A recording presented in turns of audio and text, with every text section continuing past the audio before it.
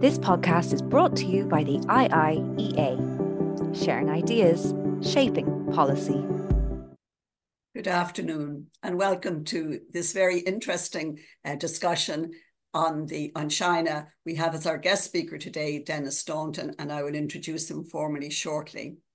Just a few housekeeping issues. The presentation will last 20 minutes, and that will be followed by a question and answer session in which you, the audience, uh, can participate by using the Q&A function on your screen. Uh, feel free to follow us uh, using the handle uh, at IIEA on X. Both the presentation and the question and answer are on the record. It gives me very great pleasure to introduce Denis Staunton, who really doesn't need any introduction. He addressed this forum uh, one year ago almost exactly.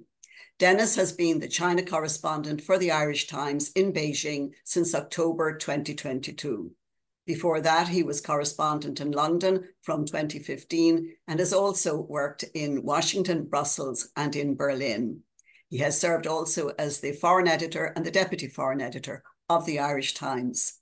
Denis, over to you, and we very much appreciate your being available to us today.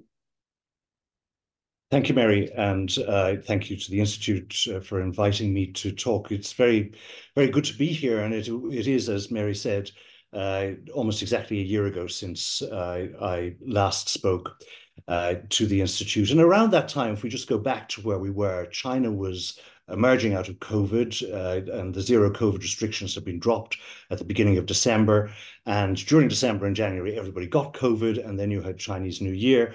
And as we were coming uh, into the spring, the question really was uh, the you know how is the economy going to come back, and also really how was China going to reconnect with the world that had been more or less cut off from uh, over the previous few years.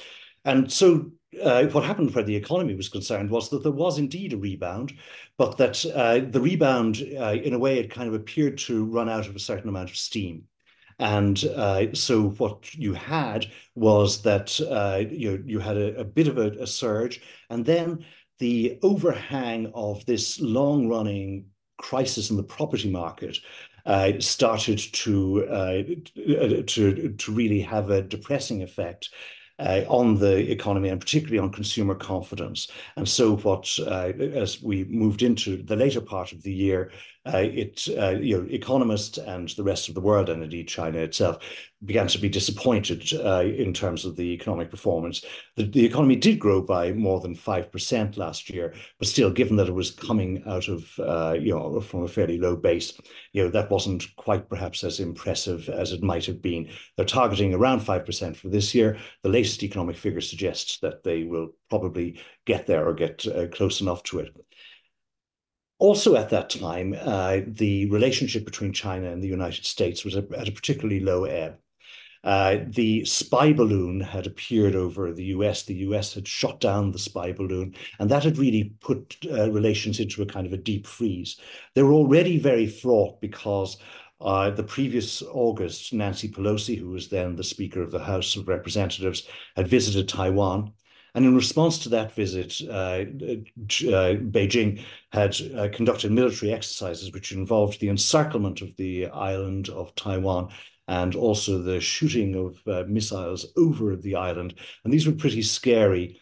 And also, uh, you know, it, you know, as we were in the spring of last year, it didn't really appear as if things were going to get much better. And every attempt uh, to put the relationship between Washington and Beijing on a better footing, there was always something to set it back. And that really only changed towards the end of last year when Xi Jinping was in San Francisco and had a meeting with Joe Biden. And since then, you have seen this, uh, you know, quite uh, intense contact between the two sides. You've seen, uh, you know, a number of high-level visits uh, to China from US officials, most recently Janet Yellen for the second time in a year, and also Antony Blinken and various others. And you've also importantly seen uh, military to military contacts uh, uh, coming back. And that's important because uh, US uh, aircraft fly very close to the Chinese coast in the South China Sea. And you, you had, when they weren't talking to each other, a lot of these near misses uh, between Chinese and uh, US aircraft. And, and one of these could have led to an accident that could have had catastrophic consequences. You haven't had any of these for the last few months, and that's because the two sides are talking to one another. The issues remain the uh, you know the same uh, fundamental issues. Uh, you know uh, the differences between China and the U.S. Are, are, are more or less as they were, and there are a few new ones like the future of TikTok in the United States. But at the same time, at least they are talking, and there's uh, you know there's a really really you can feel here the difference just because of the fact that the two sides uh, you have much more contact, not just at a high level but also at lower levels. Academics, think tanks, business people. There's much more going on than there had than there was a year ago. About a year ago, too, Ursula von der Leyen made her speech about China. And this was the speech in which she introduced the idea of de risking. And really, she, uh, she was signaling a much more robust European policy towards China. Uh, the Chinese uh, reacted badly to that speech. But uh, over the months, one of the things that uh, that did happen, I mean, at that around that time, we were still dealing with a lot of the effects of what had happened during the COVID period, when China was isolated uh, from the rest of the world and was very sensitive to criticism and was still in the grip of this uh, so-called wolf warrior diplomacy, which involved really uh, a very uh, strong and immediate and harsh response to any kind of slight or insult. And so there were all kinds of spats going on with uh, the European Union, uh, with Lithuania because of uh, a particular uh, Taiwan representative office that opened in Vilnius, and then also the sanctioning of a number of members of the European Parliament. And there were disputes over uh, China's human rights record, as well as the usual economic disputes. So you had this very tense relationship going on. Since then, China has engaged in something of a charm offensive or has tried to do so. The de risking uh, conversation has continued to happen in Europe, but, uh, uh, but Olaf Scholz was here in China this week, and it was uh, notable that he really hardly mentioned de-risking, and that uh, in a way the conversation appears to have moved uh, shifted slightly over to a more traditional kind of uh, of dialogue between China and the European Union, which is about trade and competition, and uh, the European Union uh, suggesting that China is subsidizing its industries uh, in such a way that creates unfair competition, but that uh, you, you know, uh, and China then complaining about uh, about being unfairly picked on. But these are, in a way, this is territory that both China and the European Union are quite comfortable on. And so, uh, you know, so it remains to be seen just exactly how this de-risking uh, debate goes. But it appears for now that the national security element of that dialogue appears to be diminishing, uh, and the straightforward trade element appears to be more in the forefront as we're talking now. That obviously could change. Uh, what was very much on the agenda, both last year and also this week when uh, Olaf Scholz was here, was the war in Ukraine. And Europe, once again, asking China to use its influence on Vladimir Putin uh, to ask him essentially to end the war, to withdraw from Ukraine. Uh, and China, uh, it, it, there's been a bit of a shift in a way in the in the way China speaks about this. China is officially neutral on the war, but it has given throughout diplomatic and uh, economic support to uh, to Russia. It hasn't delivered any weapons to Russia, but the uh, Ukraine's allies uh, are concerned about uh, what they view as dual-use technology, which is being uh, sent from uh, from China to Russia, or they're worried that it might be. And uh, and last year, about again this time last year, uh, China proposed a twelve-point peace proposal. And the Western powers weren't very interested in hearing about it, and they basically dismissed it, and they dismissed other peace proposals as well from the African Union. Now that the West is quite interested in China, uh, you know, uh, coming into the picture where peace plans and peace proposals are concerned, if you speak to Chinese officials now about this issue, they're more inclined to say, well, um, this is really not exactly our conflict. You know, the Russians would like us to be more involved on their side. You'd like us to be more involved on your side. But really, it's for the parties themselves to deal with this. And so there's been a kind of a, you know, something of a shift. And again, when uh, Scholz met Xi Jinping, Uh, yesterday, they, uh, uh, you know, uh, Scholz was kind of uh, speaking about it with a certain sense of urgency, whereas uh, Xi Jinping was saying, well, you know, in due course, there will be an international conference. We hope that will involve both parties, and so, so, so there's a you know a, a difference in tone there. Um, you did have uh, last year around this time, at the same time as you had the uh, you know uh, the economy appearing not to come back uh, from uh, you know not to recover in the same way as it might as we might have hoped. You also had uh, almost exactly a year ago the Shanghai Auto Show, and at the Shanghai Auto Show, a lot of companies from the West, car companies, they went to Shanghai for the first time in a number of years, and they were astonished not to see that the Chinese were producing electric vehicles, but they were producing them so well. And one person from a German car company who was there last year told me afterwards that going from one of the German company's showrooms into one of the Chinese company's showrooms was like going from a string quartet uh, into a nightclub and that it was just uh, you know the dynamism of, of the Chinese uh, uh, manufacturers was something which appeared to to take everybody by surprise. But in fact, obviously, China's success in the electric vehicles in that production, which is now they've become the world's leading uh, producer and exporter of these uh, products, is the result of an industrial policy in China, which involved uh, uh, uh, state decisions to roll out infrastructure, to support companies, and to focus efforts on a number of technologies. And this uh, is what is now called here in China new productive forces. And this is all really about the idea that, uh, China's economic future depends on moving its economic model of shifting from investment into, you know, in, in things like uh, construction, property infrastructure into uh, high tech uh, manufacturing. And we're talking about things like uh, green energy technology, solar panels, electric vehicles, various other things, also life sciences, artificial intelligence, and semiconductors. And this is all fine as far as China is concerned, but of course it creates a conflict with China's uh, trading partners, notably in the European Union. And the European Union and the US are haunted by the memory of what happened uh, some years ago, the so-called China shock, when what you had was this flood of uh, Chinese, cheap uh, Chinese imports which helped to uh, reduce inflation in those Western countries, but the, it also basically wiped out a number of industries in, uh, in rather crucial parts of the US and also in parts of Europe. And many people in uh, the West believe that that experience helped to fuel the rise of Donald Trump, right-wing populists in Europe as well.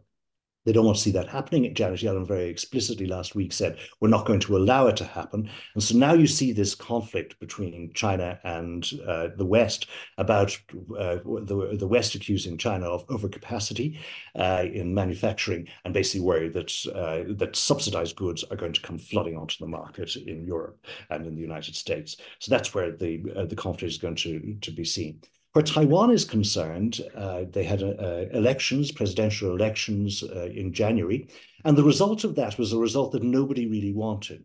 China wanted anybody but uh, uh, William Lai, who was the candidate of the uh, Taiwan Progressive Party. They wanted anybody but him to win. He wanted to win, which he did win, but unfortunately for him, he won with 40% of the vote. The opposition was divided. So 60% of the people voted for candidates who oppose uh, the current uh, Taiwanese government's approach to cross-strait relations. So the other two candidates have got 60%, they wanted a more emollient approach to relations with Beijing. And, uh, and so, uh, you know, so in a sense, this was a result that nobody wanted, but actually that everybody could live with. And what you've seen since then, there were a lot, there was a lot of concern before the election that, uh, that if William Lai won, that Beijing might respond with some kind of saber rattling like the military exercises that we saw last year. Uh, but in fact, there hasn't been anything like that. And instead, it's all been pretty calm. Uh, we'll see what happens when William Lai is inaugurated next month and what he says and what China says in response. But for now, it appears that both sides are keeping the temperature down and that and so that uh, what's happened there in a way has worked out rather better than we might have hoped for. What's happened in nearby in the South China Sea is uh, much more worrying. And so what you've seen now is a flashpoint with the Philippines. And this is uh, a, a, dispute over uh, what is uh, a, a, kind of a rock in the middle of the South China Sea called the Second Thomas Shoal. And on this rock uh, is uh, grounded a World War II naval vessel called the Sierra Madre. And this uh, vessel has been kind of decomposing over the years, but it's important to the Philippines because they uh, have, they believe that you know by having this thing there, that uh, reinforces their claim to this particular spot. It's not exactly an island, but it's uh, it, it's it's something in the middle of the South China Sea. China claims practically the whole of the South China Sea as its territorial waters. It has this what it calls the nine dash line, an international court in 2016 said that Chinese claims are groundless, that it uh, that that what it calls islands are not actually islands. But nonetheless, what's been happening is that the uh, Philippines have been sending uh, uh troops over there, and they've been kind of trying to uh, to shore up this vessel, and the troops uh, need to be resupplied. And as they're being resupplied, the Chinese Coast Guard has been attacking them with high-powered water cannon, and this has all become now a very uh, fraught matter. It's been complicated in the last few days by a revelation that the previous uh, Philippines president Duterte gave a private assurance to the Chinese that the uh, that uh, they wouldn't change the status quo, and so they wouldn't try to rebuild this uh, vessel or to kind of uh, build a more solid structure on this rock.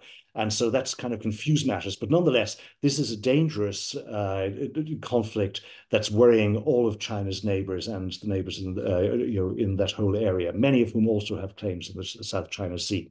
And that also has become a flashpoint between the US and China. Finally, I wanted to mention Hong Kong. And in Hong Kong, as you'll recall, after the uh, pro democracy demonstrations in 2019, uh, China, Beijing imposed uh, a national security law, which is a draconian law uh, on uh, Hong Kong. And this saw hundreds of people arrested. The, uh, the law has a presumption against bail. And so if you're arrested, you immediately go to jail. The trials take a long time, and there's a 100% conviction rate so far. And so uh, what, but, but what uh, was not quite clear in 2020 was where uh, China and the Hong Kong authorities were going to go, because there was a certain vagueness really about what the red lines were. What became clear very quickly was that all political dissent was going to be snuffed out, uh, any kind of formal opposition. But there were various moments where things have, could have gone either way. And unfortunately, at each of those moments, things have gone in the harsher way. So, for example, in December of last year, there were elections to the local councils in Hong Kong. These are uh, are functions which have you know very very little political power. They're really very very local, and a small number of the former pro democracy uh, uh, politicians wanted to run. Uh, for election there, and the authorities barred every one of them from doing so.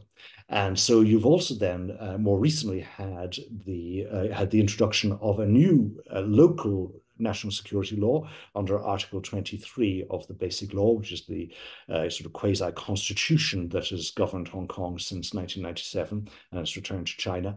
And this bill was rushed through the legislature, and it is harsher than uh, it uh, you know than uh, than was hoped for or than was expected, with new powers. And so that again, I think, has surprised, shall we say, on the downside.